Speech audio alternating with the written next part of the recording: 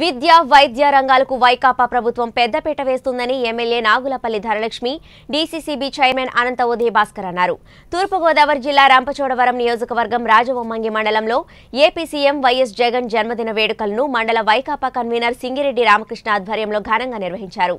ఈ కార్యక్రమానికి MLA Nagulapalli Dhanalakshmi DCCB chairman Anantha Udayabhaskar పాల్గొని దివంగత మాజీ ముఖ్యమంత్రి వైఎస్ రాజశేఖర రెడ్డి విగ్రహానికి పూలమాలలు వేసి ముఖ్యమంత్రి పుట్టినరోజు నిమిత్తం అల్లూరి కోడలి వద్ద భారీ కేక్ కట్ చేసి పంచిపెట్టారు.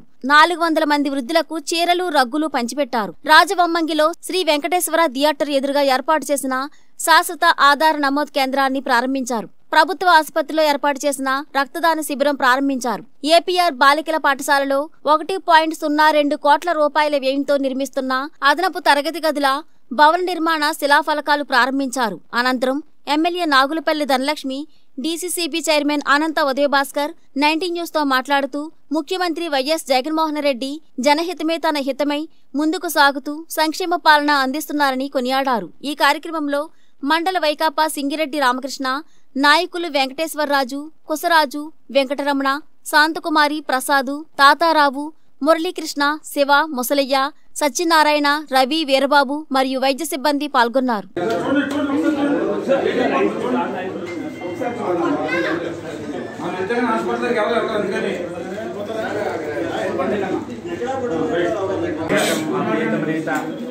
మన రాష్ట్ర ముఖ్యమంత్రి జగన్మోహన్ రెడ్డి గారి పుట్టినరోజు సందర్భంగా రాష్ట్రంలో మొత్తం నూట డెబ్బై ఐదు నియోజకవర్గాల్లో ఏదైతే ఎవరైతే వైఎస్ఆర్ కాంగ్రెస్ పార్టీ కార్యకర్తలు నాయకులు అభిమానులు వైఎస్ఆర్ కాంగ్రెస్ పార్టీ అభిమానించే వాళ్ళు జగన్ గారిని అభిమానించే అలాగే వైఎస్ఆర్ కుటుంబాన్ని అభిమానించే వాళ్ళు అందరూ కూడా ఈవేళ స్వచ్ఛందంగా ఎక్కడికక్కడ బ్లడ్ డొనేషన్ ఎక్కడికక్కడ పెట్టి క్యాంపులు పెట్టి స్వచ్ఛందంగా బ్లడ్ ఇవ్వడానికి. ఎందుకంటే ఈ చాలామంది రక్తం లేక ఎంతో మంది ప్రాణాలు కోల్పోయే పరిస్థితి ఉంది.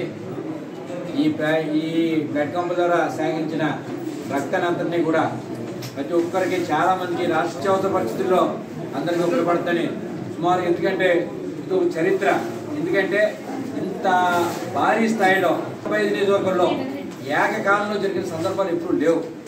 నేను అనుకోవడం ఏంటంటే ఇన్ని వేల మంది ఇన్ని వేల మంది లక్షలాది మంది వేల జగన్ గారు అభిమానించే ప్రతి ఒక్కరూ కూడా వారంతుగా ఎదరికొచ్చి అనే ఉద్దేశంతో అందరూ కూడా మేము సైతం అనే రీతిలో ఇవాళ రాష్ట్ర అందరూ నలుమూల నుంచి కూడా అందరూ ఎదురొచ్చి అంత భారీ స్థాయిలో ఇచ్చారంటే ఇవాళ జగన్ గారి మీద కానీ వైఎస్ఆర్ ప్రజల గురించి జగన్మోహన్ రెడ్డి గారు ఈ రాష్ట్రంలో ఏ ముఖ్యమంత్రి చేయని విధంగా ఇవాళ పరిపాలన సాగించిన సందర్భం మనం చూస్తూ ఉన్నాం.